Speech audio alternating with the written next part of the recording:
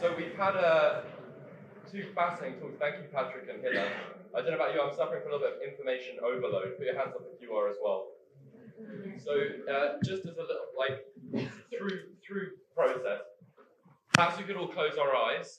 If you want to, optional, close your eyes and just repeat after me. This becomes relevant, by the way. And you might feel a bit better after. Life. Health. Happiness. Open pathways. Life. Health. Happiness. Open pathways. Health in the body. Peace in the spirit. Love in the heart. It is this that we wish for ourselves, for our friends and family, for our brothers and sisters, for geese and crows, and for all humanity. May it be so. Can someone help me start the presentation? Because I don't speak Dutch.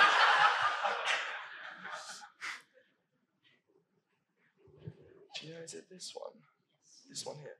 Yeah, perfect. Okay, cool. I have no interests to declare apart from a deep love of God and drugs and uh, spirit possession. I'd like to start with a quote. Searching for what I need, and I don't even know what precisely that is, I went from person to person, and I saw them together have less than I who have nothing, and yet that I left to each of them a bit of that which I don't have and have been searching for all along.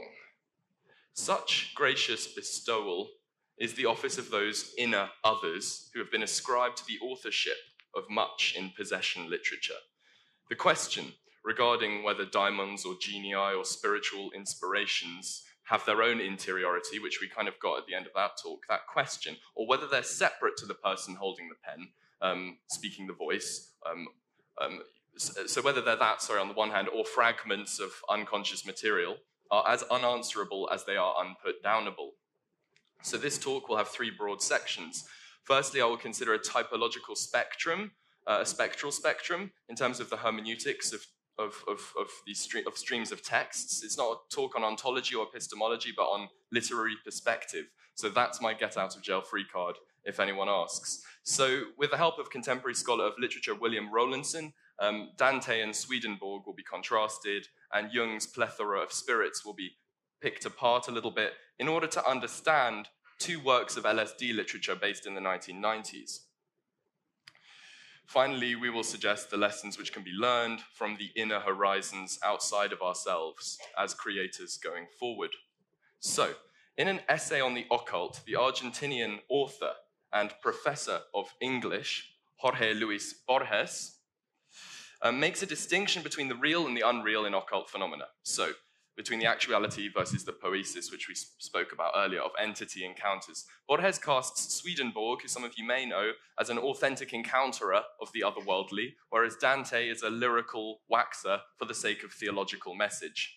He rationalizes this on formal grounds. So Swedenborg wrote his prose in Latin, it was very dry, but it did concern his journey into angelic realms.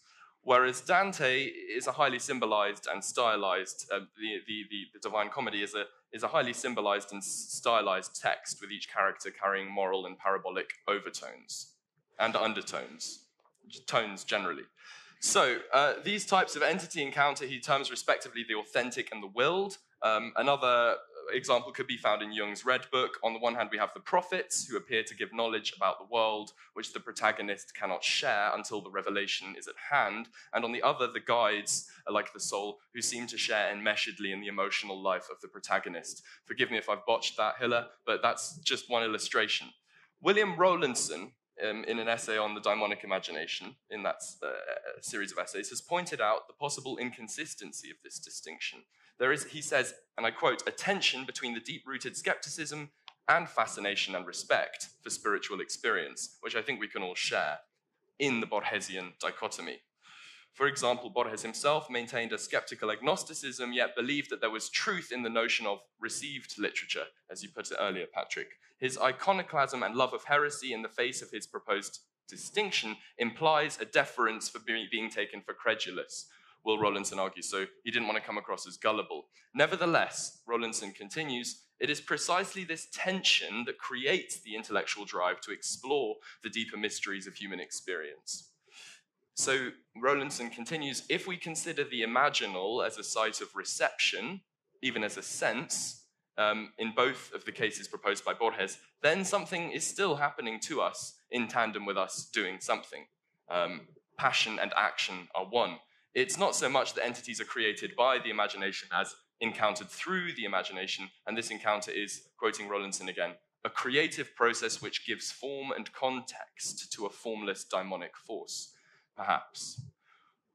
We can broach and encroach on this distinction in application to two recent works of lysergic possession literature the Southwark Mysteries, on the one hand, and uh, The Rose of Paracelsus by William Leonard Pickard.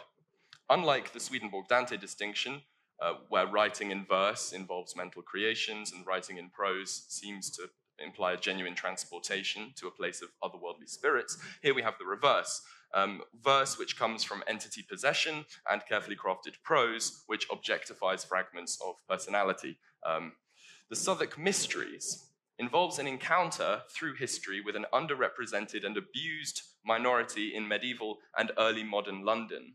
It was performed on Shakespeare's birthday in the Globe Theatre in the millennium year, and now has a following in the form of rituals, which take shape around its central character, the goose, the revelations involved were catalyzed by LSD and have corresponded to real world information hitherto unknown. For example, the location of the single women's graveyard, which its scenes center, and wherein the rituals now take place.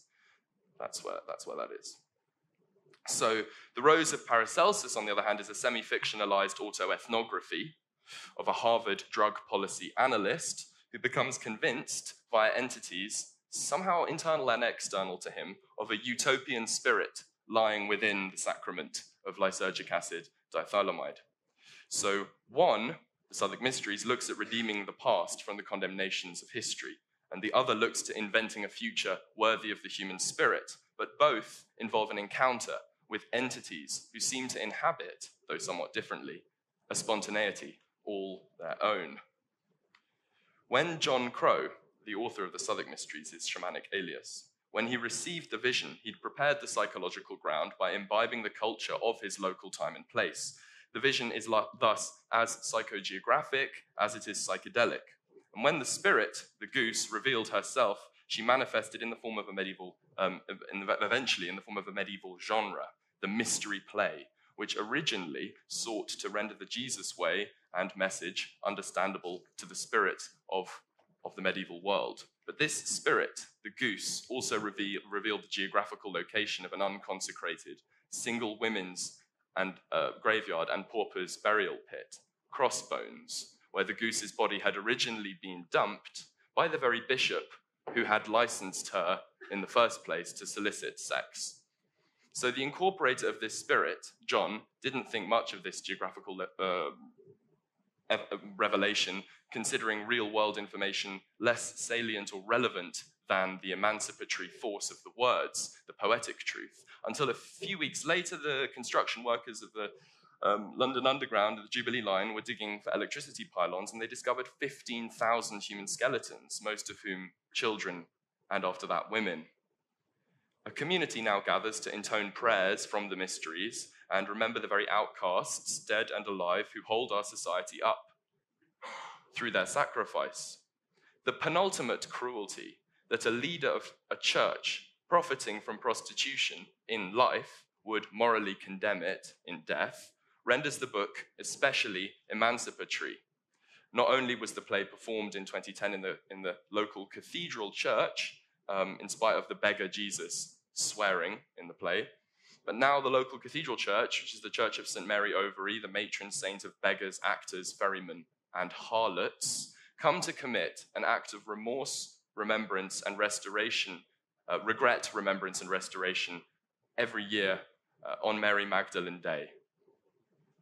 The goose is soteriological, that's the theological term for saving, and redemptive role as the bride of Christ so moved the local cathedral church, and especially their dean, that the whole play was actually performed within the church. And this is an example of what the CCRU have termed hyperstition, or a story that makes itself real.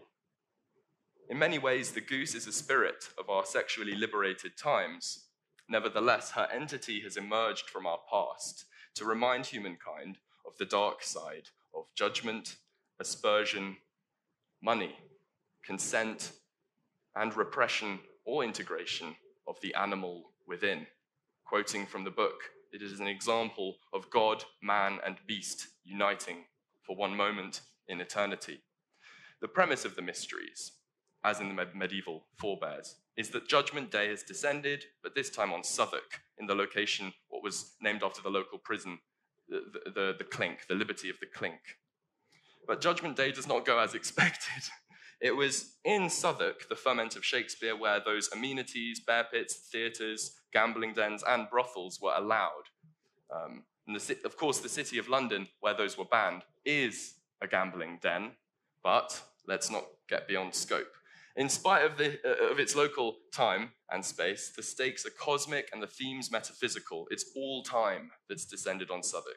The creation sequence at the beginning of the play, for example, very much sets the tone by intoning a protest, Eve, from Adam and Eve. Eve asks, Did I fall or was I pushed? This question can be asked of entities generally. Does fate tempt us or us fate? Is the incorporation of a character outside of one's own uh, a passive or active process? It also brings with it implications of theodicy. Can notions of an omnipotent and omnibenevolent divinity be justified in the face of a cruel world? The goose as an incarnate spirit alerts us to the fact that a theological blame game, in this case of sexual mores and habits, which all too often result from a trauma which is externally imposed, merely continue the very evil which it seeks to condemn. And it exemplifies that the continued reality of trauma as haunting and ghostly, as incorporated into the identity of personality and place, can metamorphosize into a state of healing, catharsis, grace, and even redemption, but only if the universality and ubiquitousness of trauma is understood in its own agential terms, situated in particular places and particular times.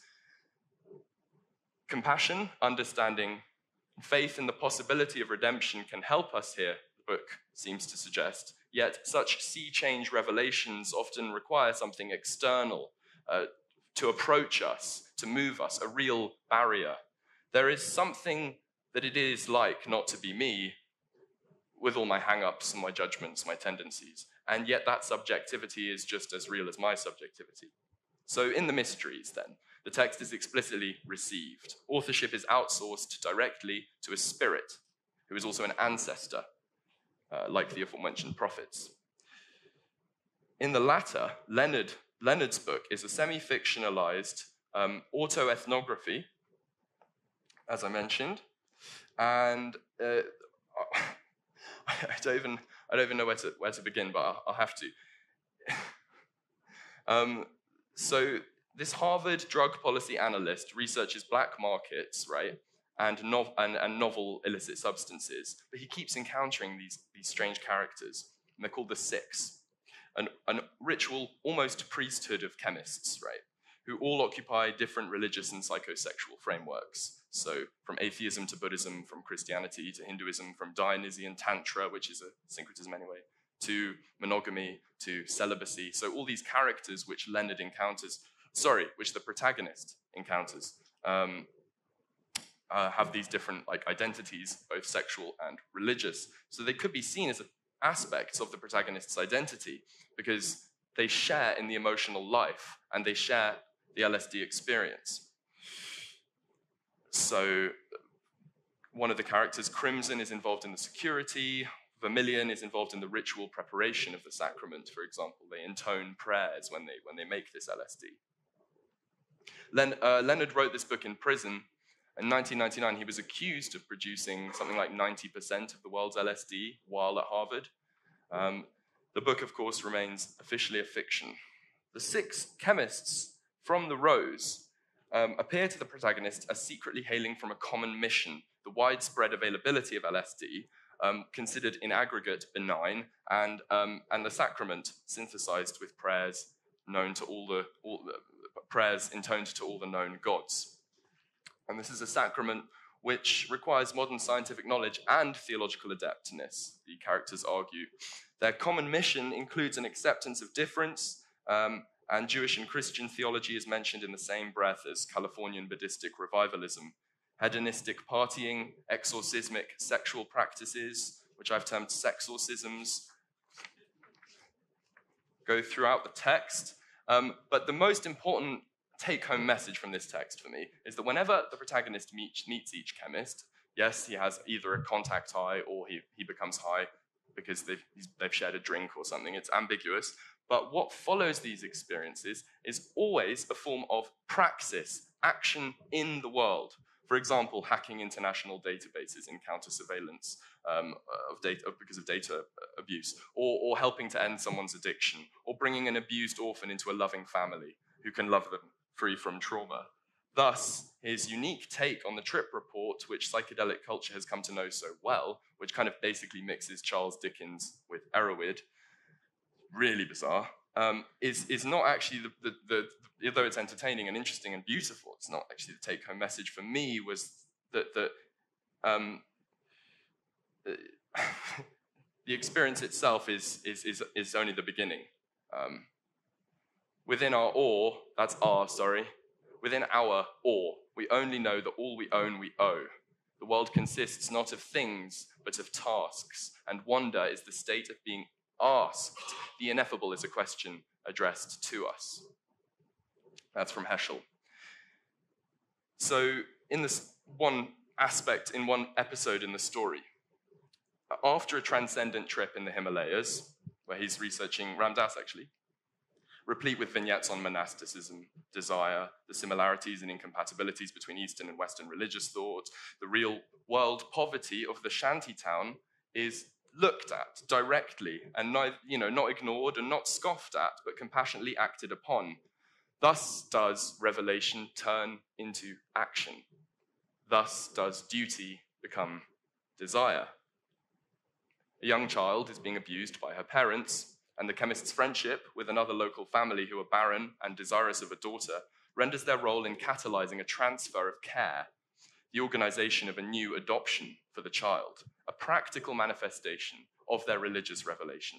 The entities here, the chemists, seem to share in the emotional life of the protagonist.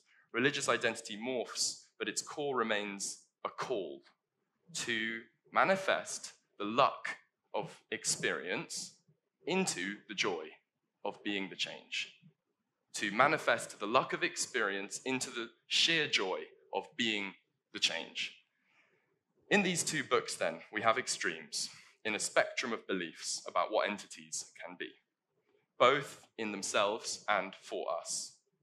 In the rose, we see the inner other, the multiplicity of the self, how a single psychological whole can surprise itself, exceed itself, communicate with itself, as one chapter puts it in their statement um, to the protagonist, one of the six describes it like stumbling through a mirror, a trackless mystery of no identities. But is an identity of no one an identity of everyone? When the language of the six is commented upon, reference to the author's own plight is implied. As though he had spent years alone, removed, comforted only by literature. Leonard wrote this in prison. Pure vision risks becoming solipsistic and navel gazing if not coupled with a conversion of passion into action. Contrast that image stumbling through a mirror to one from the mysteries. Here's Christ in the gents, the toilets. He's down on his knees in the vomit and beer, scrabbling to put back together the broken pieces of the mirror. So, in the mysteries, there's a visceral understanding of the commonality of the self, in the accident of birth. We could be, in that very sense, and are anyone, from those we abuse to those we help, from those we have, have who have abused us uh, to, to those who have helped us. Yet we cannot understand the reality of together passion, compassion, without the temporary possession by the other, to see the world from the eyes of the radically other. In the rose, the plurality of singular identity is exposed, and entities become a part of one psychological tesseract. But in the mysteries, the unity of the self and the other is assumed, so that, in the words of Martin Buber, I become through my relation to the thou. In saying I, I say thou. Both books represent diverse sides of a spectrum of beliefs about entities. In The Rose of Paracelsus, we carry the assumption so pithily by Walt Whitman that we contain multitudes, we contain multitudes, that there are psychologies within psychologies, that we can meet ourselves as other. But in the goose, in, in the mysteries with the goose, the goose shows us and the practitioner that there is a non human world beyond our own which transcends the present moment and conjures in that real barrier a possibility for love at all, rendering history perennial. So, where the mysteries show us the history of an abusive society, that, but that it can turn into a celebration of the liberated, the Rose offers a vision of a fair, cognitively liberal future society. The role of psychedelics and sexuality in a rapidly changing ideological, natural, and globalizing environment becomes all the more important to understand and to imagine. We have to come to terms with our past as a culture while also embracing the deep, deep well springs of its tradition. As the late Mark Fisher once said, we have to invent the future. I implore us all, as co creators of the way the world is seen, to pay close attention to the entities which may enter our lives so that the speed of the present becomes clear in the blurred edges which it moves against.